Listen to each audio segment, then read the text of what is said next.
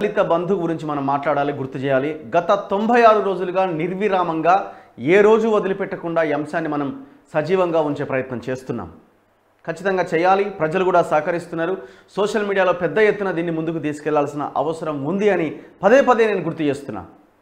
ఇవాళకి దళిత బంధు పేరుతో కేసీఆర్ దళితులను మోసం చేసి దగా చేసి తొంభై ఆరు రోజులైతుంది. ఇంకా ఎంతకాలం మోసం చేస్తావు? ఇంకా ఎంతకాలం మోసం చేస్తావు? ఎల్లి ఎన్ని ఎలక్షన్స్ అయ్యేంత వరకైనా ఇస్తావా? లేకపోతే ఇప్పుడే నోడు ఇంక ఎలక్షన్లు అయిపోయిన తర్వాత అయిపోయే లోపే ఏ- ఏడు నుంచి ఏడు నుంచి తెచ్చిస్తావు? సో ఇదంతా కూడా ఒక పెద్ద డ్రామా లాగా మనకు అనిపిస్తుంది. అయినా సరే కేసీఆర్కి గుర్తు చేయాలి. ఎందుకంటే మోసం చేసినోడు ఎట్లా ఉంటుందంటే పరిస్థితి ఏ మీరు ఇవాళ రాత్రి ఇంటర్ పొద్దుగాల మర్చిపోతారు. మీ మీ బతుకులే ఇంత. నేను ఎన్నిసార్లు మిమ్మల్ని మోసం చేయలే? దళితుడే ముఖ్యమంత్రి అన్నా మీరు నాకు ఓటేయలేదా దళితులకు మూడెకరాల భూమి ఇస్తా అన్నా. అయినా సరే నా కోటే లేదా? గిది కూడా గంతే. దళిత దళి దళిత బంధు పేరుతో దళితులకు పది లక్షల పేర్లతో నేను ఇట్లాగే మోసం చేస్తా. ఆయన మీరు నాకే ఓటేస్తారు అని మీకు చెప్తున్నాడు. సో ప్రజలుగా మీరు ఆలోచించుకోవాలిగా. మీరు మోసపోతూనే ఉంటారు మిమ్మల్ని దగా చేస్తూనే ఉంటా మీ బతుకులు ఇంతే అని చెప్తున్నాడు కేసీఆర్.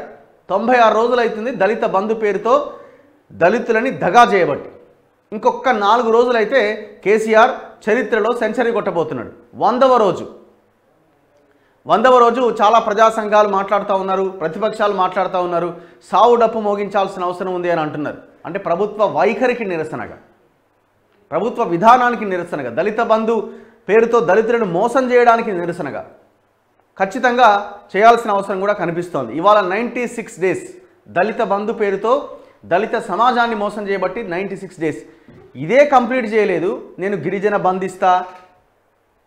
బీసీ బంద్ కూడా ఇస్తా అని కేసీఆర్ మాట్లాడిండు.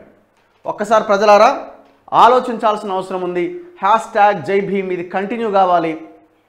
ఇప్పుడు మళ్ళీ కొత్త డ్రామా షురూ చేసిండు. నూట ఇరవై ఐదు అడుగుల అంబేద్కర్ విగ్రహం చుట్టూ రాజకీయాన్ని తీసుకుపోయే ప్రయత్నం చేస్తాడు. నిన్నటిదాకానేమో రాజ్యాంగాన్ని మార్చాలి అన్నాడు. అంటే చూడండి ఒక నోరు ఎన్నిసార్లు ఎన్ని వైపులుగా ఆయన నాలుక తిరుగుతుందో చూడండి. గమనించాలి మనం. ఇంకా మనం అమ్ముడు పోతే ఎవడు మార్చలేడుగా మన పిల్లలు మనల్ని క్షమించరు రేపు పొద్దున. మన పిల్లలు మనల్ని క్షమించరు.